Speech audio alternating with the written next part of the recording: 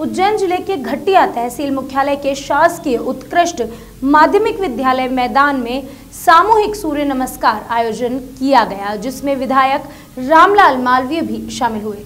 स्वामी विवेकानंद के जन्म दिवस के अवसर पर 12 जनवरी को सामूहिक सूर्य नमस्कार का कार्यक्रम का आयोजन किया गया। युवा दिवस पर तहसील स्तरीय सामूहिक सूर्य नमस्कार का आयोजन रविवार को शासकीय उत्कृष्ट माध्यमिक विद्यालय घटिया के मैदान पर आयोजित हुआ। कार्यक्रम में विधायक रामलाल मालवीय, एसडीएम पुरुषोत्तम कुमार ने व्यायाम से होने वाले फायदों के बारे में बताया और कहा कि स्कूलों में खेल का जो पीरियड होता है, उसमें बच्चों को योग करना ज़रूर सिखाएँ और साथ ही योग के फ़ायदे भी बताए जाने चाहिए।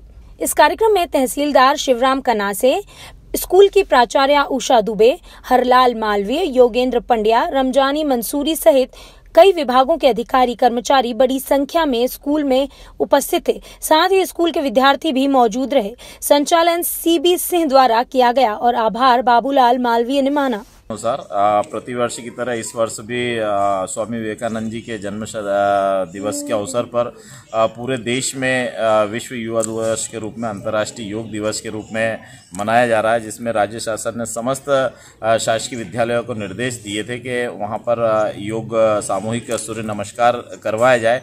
उसी तारतम्य में यहाँ विकासखंड स्तरीय आयोजन शासकीय उत्कृष्ट उमावी घटिया में रखा गया है, जिसमें इस ग्राम के सभी शासकीय विद्यालय के बच्चे ने, प्रतिभागियों ने भाग लिया। आज के इस कार्यक्रम के मुख्य अतिथि क्षेत्र के हमारे विधायक महोदय, माननीय रामलाल जी मालवी साहब थे। अध्यक्षता एसडीएम साहब ने की। सभी जनप्रतिनिधि, सभी गणमान्य नागरिक और समस्त विद्यालय के बच्चों ने यहाँ प्रतिभागिता की है। और इसमें सूर्य नमस्कार के तीन चक्र पूर्ण किए हैं।